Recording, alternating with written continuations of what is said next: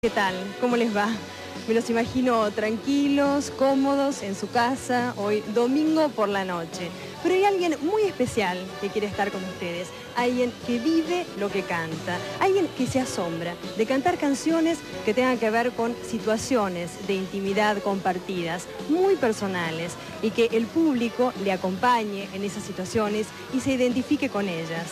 Y sí, es el hombre que ha llegado a la Argentina, que para muchos es el rey. Para Caetano Veloso, por ejemplo, es el padre de la música brasileña. Para nosotros es el hombre, el hombre que cuando era niño quería ser un cantante de balada y cuando adolescente un Elvis Presley. Pero ahora es el hombre que nos abre su corazón, sus sentimientos, sus canciones, su romanticismo, su sensualidad. Es Roberto Carlos. Con ustedes en Canal 13.